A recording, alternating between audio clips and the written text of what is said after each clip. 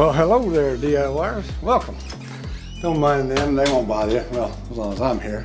So, today's video project that I've got going on, as you can see, is repairing and repainting my front door jamb. Now, you might be thinking to yourself, all you need is a little sandpaper, a paintbrush, and a paint roller. Well, you couldn't be further from the truth. A little something you may not know about me is I'm just a tad bit OCD. And if you've watched any of my other videos, well, you may have picked up on that. So here in just a little bit, I'll explain why I removed all the paint off the door jamb. I removed all the old caulking. There are some repairs that had to be made, some of which I caused, unfortunately. And then the priming and repainting of this door jamb. Now, some of the tools that I used for this project are modified putty knife, razor sharp, hand plane, also razor sharp, couple different types of tape, some sanding blocks that I made. Now, I didn't say there'd be no sanding. Also, a sanding sponge. And for a small part of this project, I used my orbital sander, caulking gun with caulking, and of course, my HVLP sprayer. Now, there's one other tool I used that you'll just have to continue watching the video to see, but what I used it for was to keep overspray from out of the inside of my house. Now you're thinking, why would he have overspray inside his house? Well, you'll just have to keep watching to see. So I'll have affiliate links down below to all these tools. And what that means is, is if you click on the link and purchase the tool, then I get a small little kickback, which helps support the channel. But the price to is the same whether you use that link or you go straight to the website. And also, if you like this DIY shirt I'm wearing, I'll have a link to my Etsy store down below where you can go purchase it and some other designs I have. As I was making this video, lumber prices are ridiculously high. Fortunately for us, this project doesn't require any lumber. So what's that mean? It's a relatively inexpensive project for you because paint, sandpaper, and caulking are still relatively cheap. At least they haven't gone up in price like lumber has. So if you want to see how to avoid the mistakes I make and how I fix my mistakes and the projects I'm doing, hit the subscribe button and the bell notification down below. And that way when my next video comes out, you'll be notified and you can see how I screw up and how I fix them. Now with that, let's get started on the project. So how did I get to this point?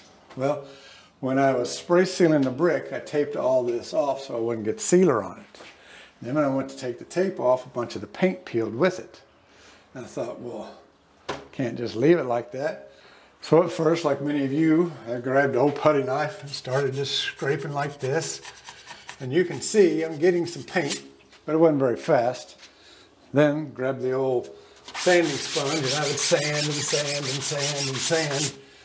See, that took forever. What if you use a sharper putty knife? Then I'd gouge the, the wood. But man, that took forever.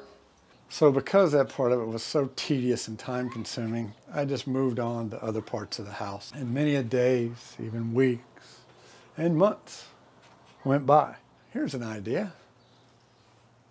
Let's take an ordinary putty knife and turn it into one of those. And I'll bet that'll scrape that paint off lickety-split. So how this great slam dunk idea was gonna work was, is I was gonna have this nice little rolled sharp edge on this putty knife I was going to set it on here and pull down just like this. It was going to scrape the paint right off and all these shavings fall to the ground. Well, that was an epic failure. Not to worry, I came up with a second plan. It involves small little plane and the putty knife again. It was working so well, I couldn't stop myself. And before I knew it, I had 75% of this door jamb done and I hadn't shot a single bit of footage. So what I did is I had this little bitty plane I got my sharpening jig here. I found out that this was a 25 degree angle on this blade and I just started out at 100 and you just go back and forth. I got this nice and flat and I got my blade nice and flat. Then I took my putty knife and I'll tell you this part took a while and so I had to start at 100 grit and work at it quite a while before I even got it to the 22 and a half degrees uh, angle all the way across. Now what I did on this one is I decided I would put this at a 22 and a half degree angle. Now, the hardest thing about all of this was getting this set to the right depth. So what I had done is I had luckily peeled off a piece of paint. As you can see how nicely it peeled that off. And it peeled off just the paint and left the primer underneath.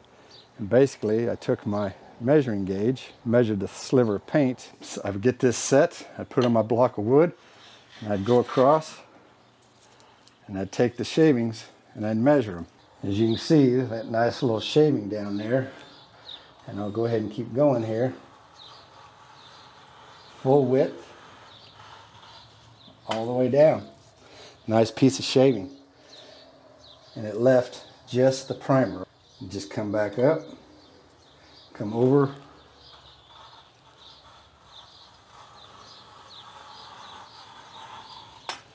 and down like that.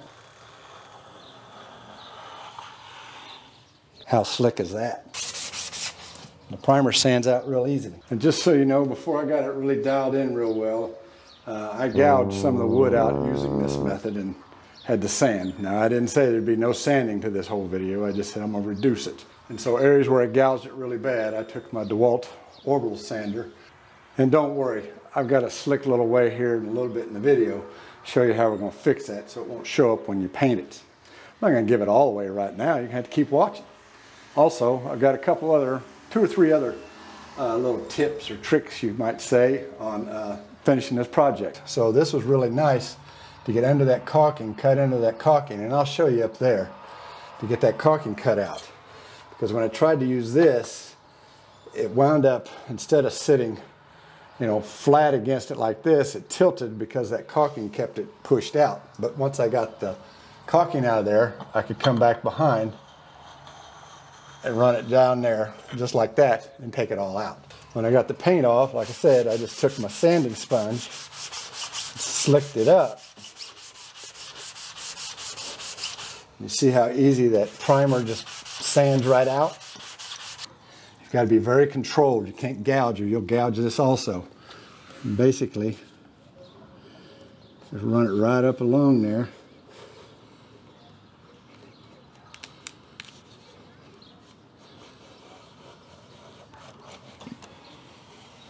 What I don't have done is the paint here. Here's another one of those little tips I told you about. I got some really stick, sticky tape here. This is actually masonry tape. And how I came up with it is, well, that's how it got me here. So I'm gonna take a piece of the tape, make sure the surface is clean of dust, put it on here rub it on there really good and tight.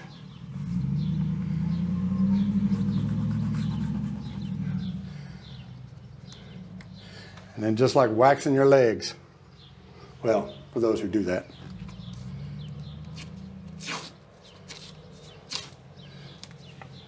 And then this is all loose.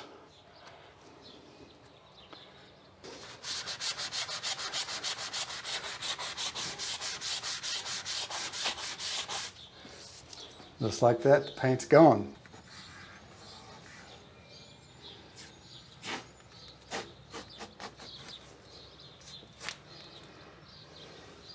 What I'm going to do, I've got this uh, putty knife sharpened, uh, nearly razor sharp. And in here and here, it's got caulking like it did down here. And so I can't really get my plane in there because of that caulking.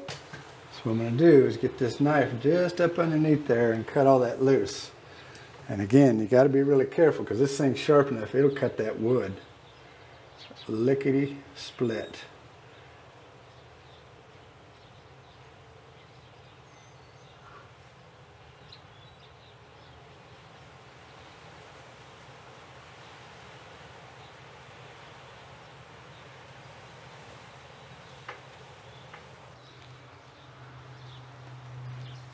Peel it out just like that. Down here is just a rinse and repeat.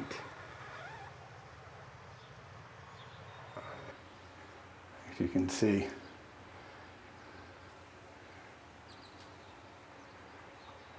The thing is very sharp and it doesn't take much to get to the wood.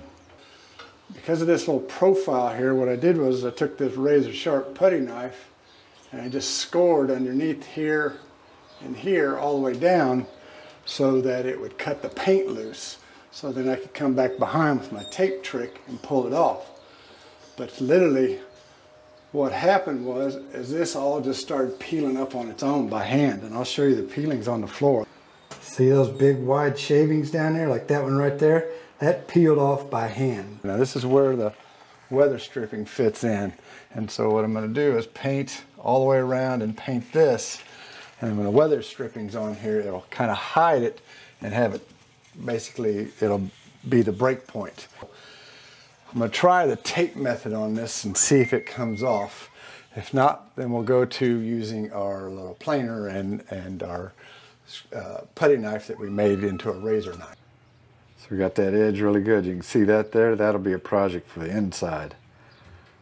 But like that there, I'm going to show you how I'm fixing that.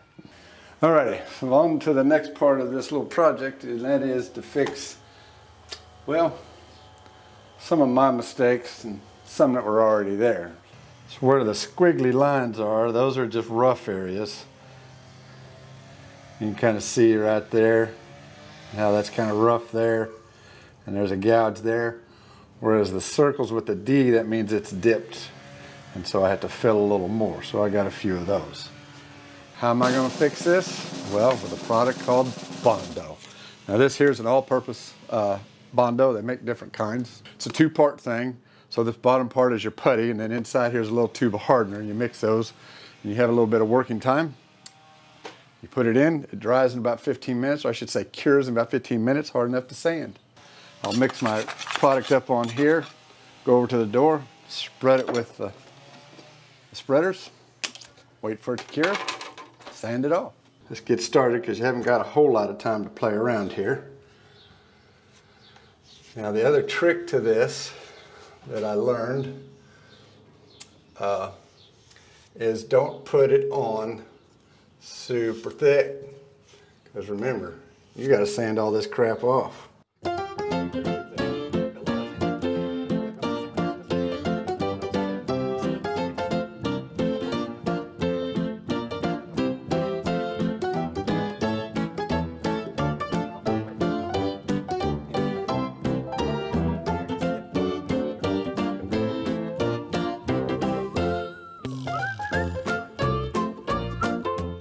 Okay, we're all done. You can see where it's been smoothed around on all the spots. It went on much easier this second time. I had a little bit more working time than I did the first one. And again, you can tell where it's starting to set up because it gets rough. Okay, I've let this set up and cure real hard. Now it's time to sand this stuff. How I did that was, is I went to my table saw and I cut down the old corner trim boards that I had left over when I replaced the corner trim. And so once I ripped them down to that, then I ran them through to smooth up each edge so I'd have a nice flat surface. And then I cut one of them at about 30 inches. I cut another one at about 18. And then I cut a couple at 16 inches. I took some 80 grit sandpaper and rolled it over and stapled it on the back side. I didn't want to staple it on this side because I can use this along here to sand this edge and this edge. And if I had staples in there, it'd make gouges. A wide, a long area in which to sand so that I would make sure I got a good flat surface. Whereas if I did a little piece like this, I'm liable to just gouge it back out. You can see how it's scratched through or sanded through it. Now this here is just about done. I got a little bit here and a little bit here, but I'll finish this out with the 150 and then the sanding sponge. Okay, I got it all done. I've got this green tape on here because the next thing I'm going to do is I'm going to peel bond primer everywhere there's caulking. Now, if you've watched any of my other videos where I've done any of this stuff on the house painting series, you know that I'm a huge fan of primering and painting and then caulking. So I'm going to use peel bond. That has to take 24 hours to dry. I'll let that dry, then we'll come back and I'll paint it. That takes a couple hours to dry, then we'll caulk. All those gray spots. Now you can see the pencils showing through, and that's okay because the primer will cover that. But I've got them all sanded down and they're nice and smooth. I sanded it down to 220. You can see wherever it stays is where it was a low spot. Okay, so I'm all done with the priming and painting. It's good and dry.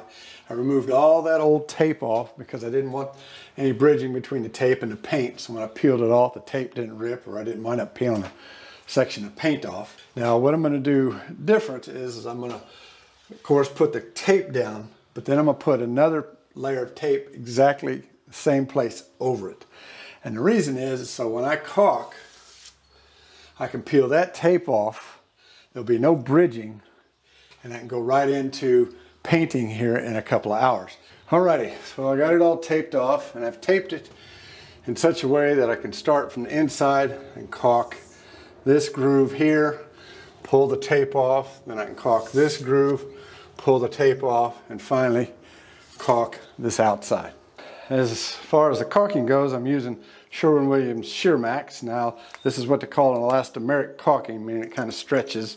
Um, and this happens to be for all those that want to geek out a little bit, an ASTM 920 class 35.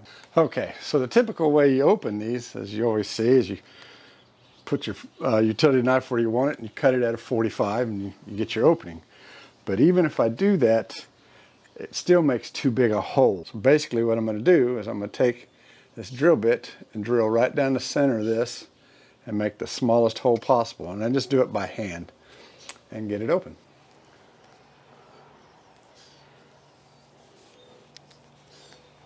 And there you go. Just like that. All right, so I got my caulk and my caulking gun.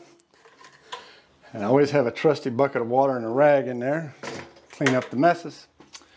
And let's get started with this. Okay.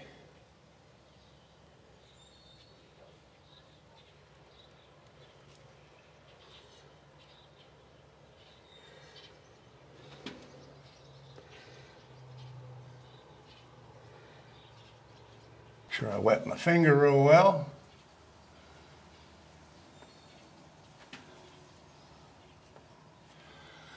And that's all you do.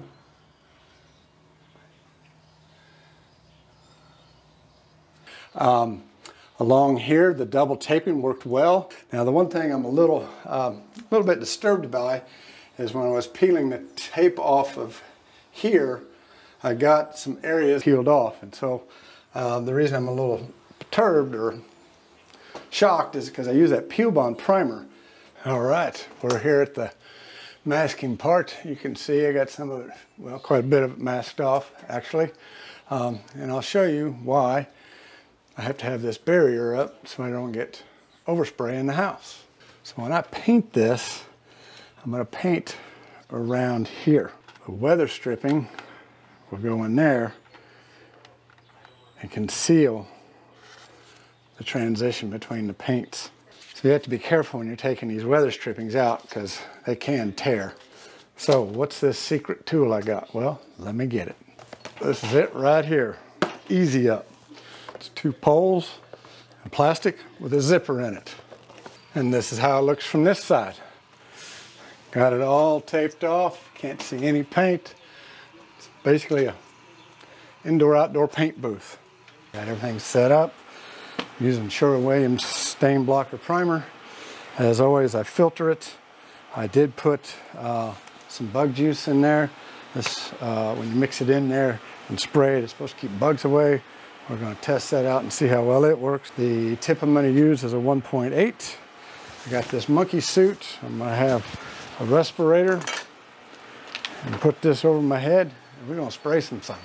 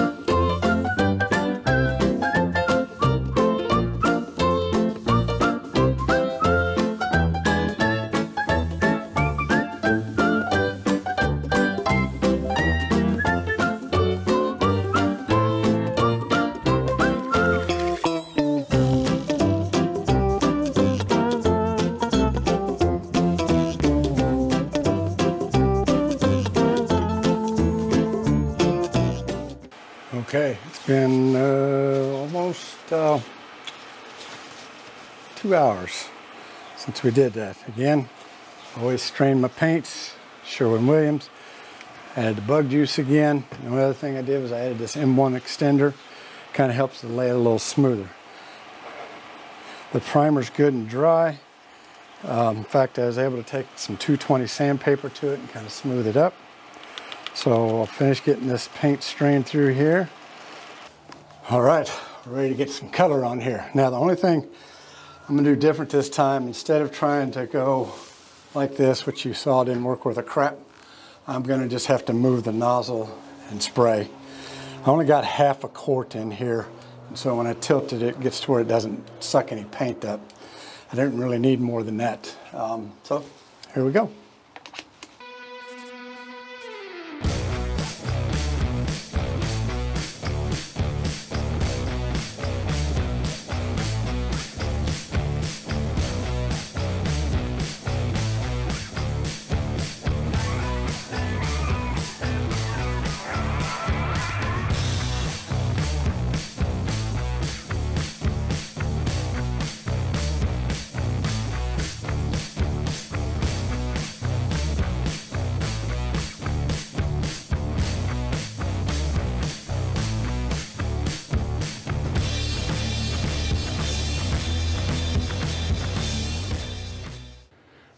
There's one more thing we have to do before I can do the big reveal, and that is replace the weather stripping.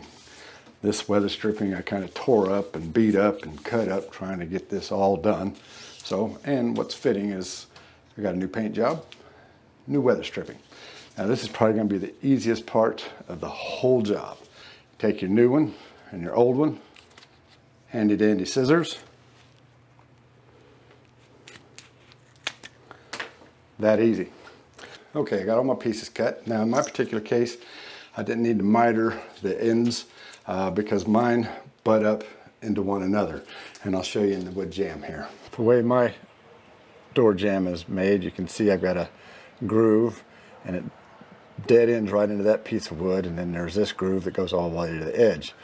Now if these two grooves connected, then I'd have to miter, but mine doesn't, so I don't. So this part is real easy take this plastic here, make sure the open end is towards the door,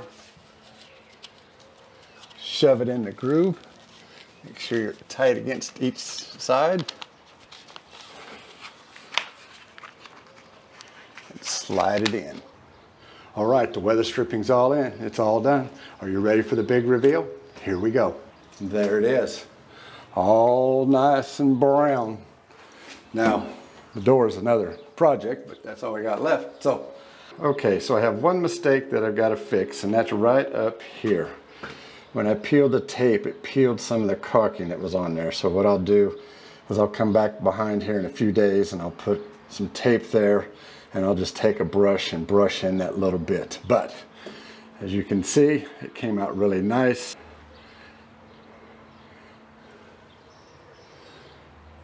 Caulked onto the brick there. My line's not as straight as it could be, but this the seam is covered. I had to caulk this. This is all redone, and this one's redone. Up here in this corners and there.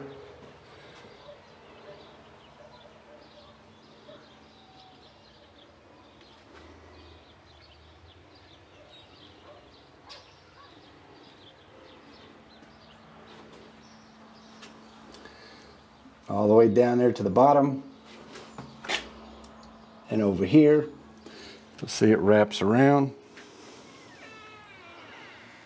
And it looks like it just dead ends into nowhere. And the weather stripping hides it all. All right so let's go over a few of the things that I had done different on this project and a few of the things I really liked. First of all I had bought an actual card scraper and tried that and see if it worked instead of trying to make my putty knife into one. Next I'd have done a better job of setting the depth on this plane.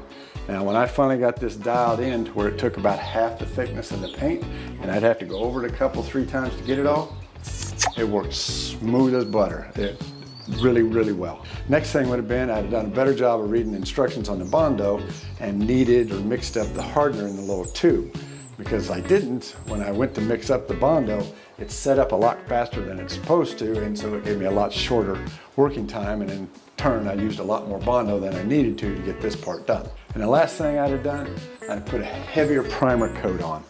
and let it dry overnight and then came back with some 180 or 220 and sanded.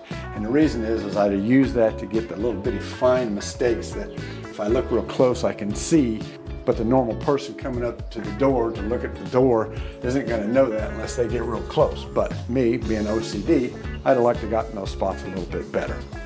Now, let's talk about the things that I liked about this project. First of all, how well that plane worked at taking this paint off. Like I say, once I got it dialed in, it worked great. Next, just how razor sharp I could get this putty knife and how well it worked also to get the paint off where I needed it to. The Bondo did a very good job of hiding my mistakes or fixing my mistakes and others that were there before me. I liked how well the caulking laid down in these grooves and I liked how well the double tape method worked around here.